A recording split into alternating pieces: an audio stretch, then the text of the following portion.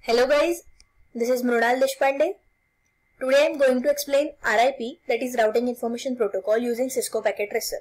So this Cisco Packet Tracer is basically a software which is used for designing various topologies in networking. So we'll start with the topology. First of all I'll tell you these, these are various sections here. This section is for various devices. This section is for various cables to connect various devices. So let's start. So we'll take three generic routers here. We have to just drag and drop. That's it. We'll take three switches connected to three different routers. And three computers to connect three different switches. Just now I am using one computer for each switch. You can make use of more than one too.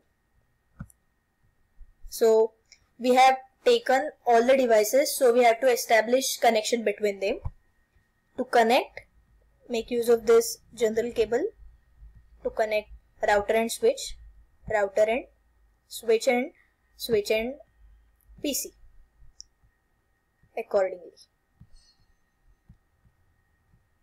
So basically, if you want to connect two different devices, use general. But if you want to connect same devices like router and router, as this is the case here. So you can make use of copper crossover cable or serial DCE or serial DT. Serial DCE means data control equipment and serial DT means serial data transmission equipment. So we'll make use of serial DT cable to connect two routers. Similarly, second and third router.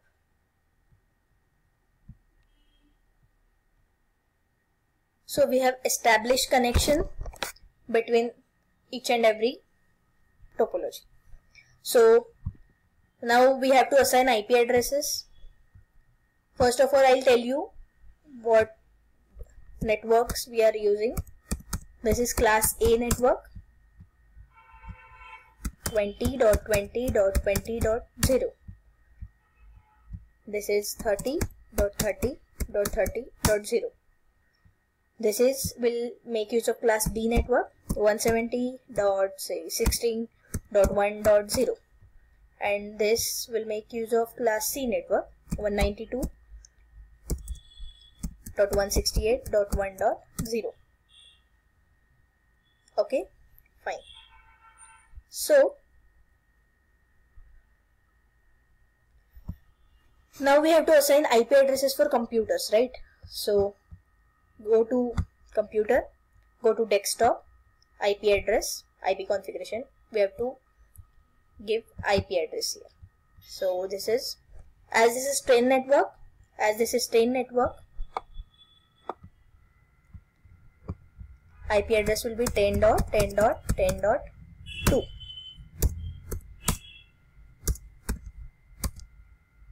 subnet subnet mask will be automatically default. Then gateway will be 10.10.10.1 will give that to router. Similarly router go to configuration mode go to serial 2 uh, sorry fast ethernet 00 so it will be 172 dot sorry 10 dot 10 dot 10 dot 1 and subnet mask will be default. So make on here. Then as these cables are here we have to go to serial 2 make on it. Then make it on. Then assign IP address 172.16.1 1.1 and subnet mask will be default for class B. Okay, so this is for router 1. Similarly, we have to configure PC 1. Likewise, desktop IP configuration IP address is 20.20.20.2 subnet mask will be default then default gateway will be 20.20.20.1 similarly for router go to configuration mode, FA fast ethernet 0 slash 0, IP address will be 20.20.20.1, default subnet mask, make it on. Then here serial 20 is connected for left network. So serial 20, go to serial 20 and give 172.160 sorry 16.1.2 as we have assigned 1.1 for that network we have to give 1.2 for this network. Subnet mask will be default. Similarly for this so here link were red links were red but just now we have assign IP so this is up now. So we have to assign for serial 3 likewise make it on. It will be 192.168.1.1 and subnet mask will be default. So this is for router 1 this is router 0 this is router 1 and this is router 2 so similarly for uh, pc2 go to desktop ip then 30.30.30.2 subnet mask. Default gateway will be 30.30.30.1 okay then go to router 2 see here. Fast ethernet 00 make it on so that link will be up. So this is 30.30.30.1 default subnet mask will be there. And there is serial 3 cable. This is. So make it on Uh, and IP will be 192.168.1.2 because we have assigned 1.1 we have assigned 1.1 here. So 1.2 is here. So all the links are up now which which were turned from red to green. So but still if you want to ping a message from PC 0 to PC 1 PC 2 it will not be successful because we have not assigned any routing protocol. So let's see. Yeah but this is the section where message can be sent from one PC to another PC this is PC this is PC2 it will be failed. So as we have not assigned any routing protocol it will not be successful. So, so here we use routing protocol RIP so routing information protocol. So for that click on router go to CLI mode. So we have to type commands. So exit from here then type router RIP because as we are using routing information protocol as routing protocol. So we are now in configuration router protocol router mode. So here network.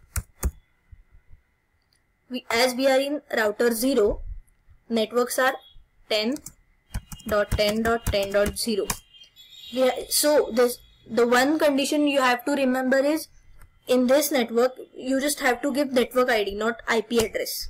Similarly this router has two different connections. So same 172.16.1.0 okay? That's it. So we told this router that two networks are connected. We, we told this router that two networks are connected to this router. So this is the one network and this is another network. Similarly as we have configured for router 1 go to router 2 CLI mode. Same commands you have to type first exit from the current status. Then router RIP then network.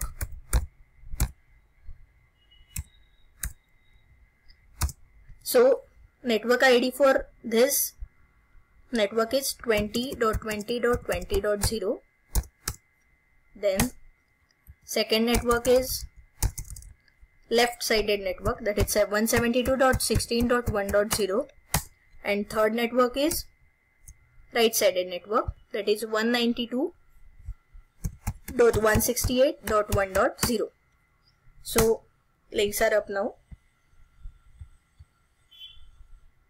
Okay so similarly for router 3 go to CLI mode same things you have to repeat because we have taken three routers router RIP network.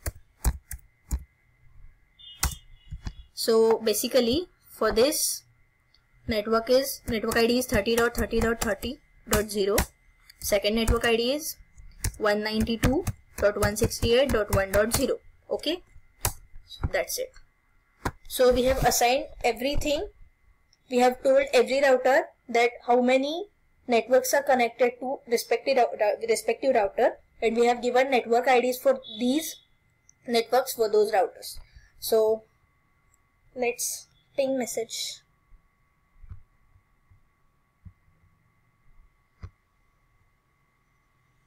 First of all, it will be failed due to some network connections.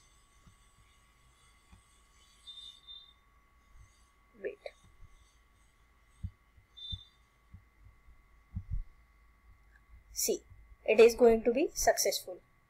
In the same way, from PC0 to PC2, successful. From PC1 to PC2, yeah, it is successful. So let's check for every possible case. PC0 to router, it will be successful.